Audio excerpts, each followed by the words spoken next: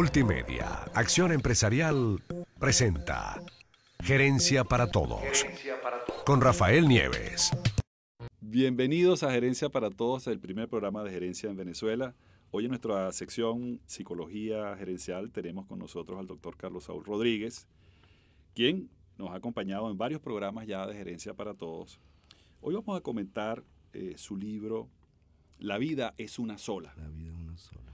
¿Por qué escribiste este segundo libro, La vida es una sola?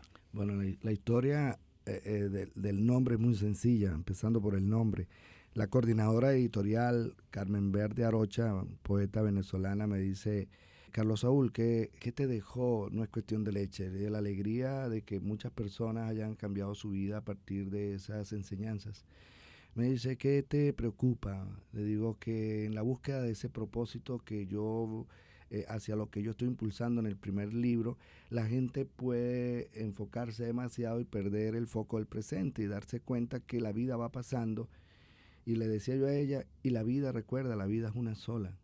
Me dice, ese es el título del segundo libro me dice, ¿y de qué quieres hablar? Y entonces le dije, bueno, no sé, yo creo que nos hemos hecho, uno cuando crece, aprende tanto, mm, tiene mucho conocimiento y experiencia y se hace más complicado. Y venimos de una vida menos complicada a una vida más complicada.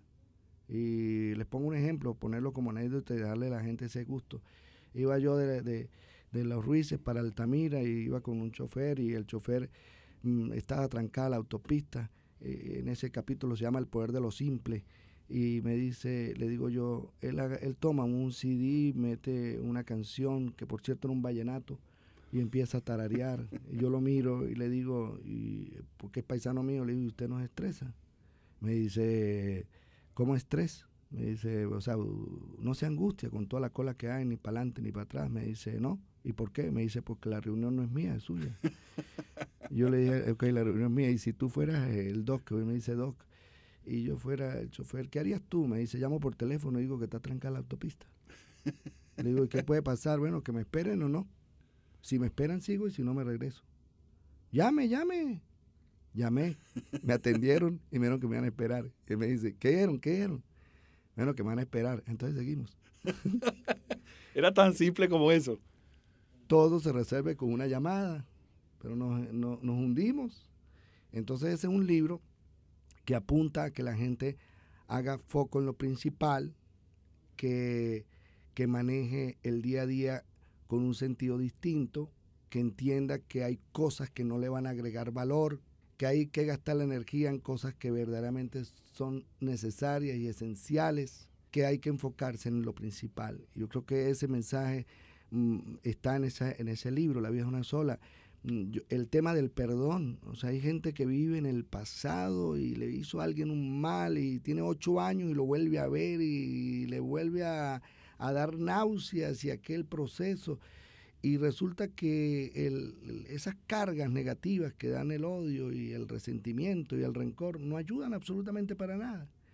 Cuando ahorita que tú mencionas el tema de la psicología asociada a la gerencia, que tiene que ver en esencia lo que trabaja este, este, este programa, este espacio, hay mucho estrés laboral y mucho estrés laboral porque simplemente la gente se complica. Por ejemplo, un gerente tiene su espacio y él cuida su espacio, él cuida su territorio, uno de venta y el otro de producción, y empiezan a pelear.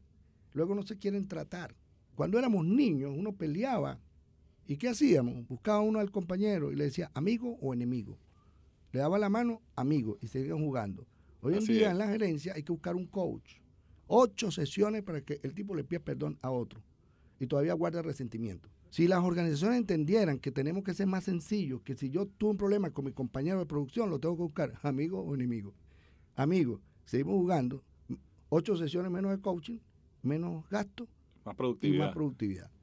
Pero es buscar la raíz de las cosas y empezar a deslastrarse de las cosas que nos hacen pesado el transitar por esta vida, que de paso es muy breve comparada con la eternidad. Bueno, y es verdad, y es breve como esta sección.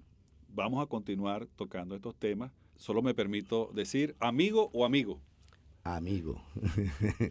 Muchísimas gracias, Carlos Saúl, por estar con nosotros aquí en Gerencia para Todos. Seguimos en Gerencia para Todos. Multimedia, Acción Empresarial, presentó Gerencia para Todos con Rafael Nieves.